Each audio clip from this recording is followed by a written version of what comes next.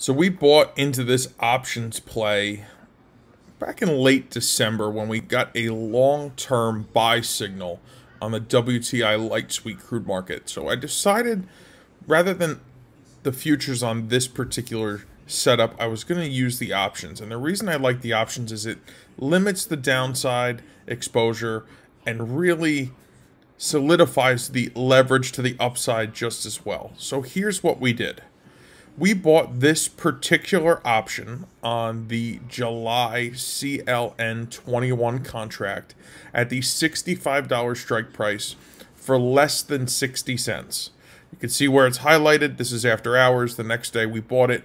Um, I personally bought it in around 56 cents is what my fill price was. So let's just call it 60 cents for round numbers. Now, the market has clearly rallied very strongly since that point in time. And today we nearly tested the $65 area. So midday I had put out, late morning I had put out an alert to my subscriber base and I said, listen, if we get close to that $65 area, if we get a, a, a test of it, I would like to peel off half of this position. The reason for that is in case we run into a, a some type of bearish rotation at some point, uh, we're covered. So we sold half of this position today at six times our entry price. So we bought it at about 60 cents and we sold it today for about $3.60. So we had a really, really fantastic run inside of about mm, 70 days or so. So we have the other half of this position on. Now, why did I leave it on? Because from this point, one of two things is probably going to happen. And I know that I've booked enough profit in the first half that even if the second half turned worthless, this trade was still a banner winning trade. But if we break the next key level that we're watching and we continue onward and upward, I have another target. And now my strike price is going to be deep in the money. So we're going to see the other 50% of this become exponentially valuable in a very short period of time if the market continues to cooperate.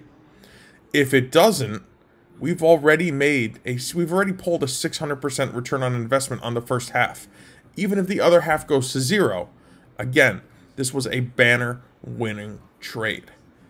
So, if you want to be involved when the next one of these trades lines up, there is a link directly below this video all you have to do is click on it. You can watch my training webinar. It's free.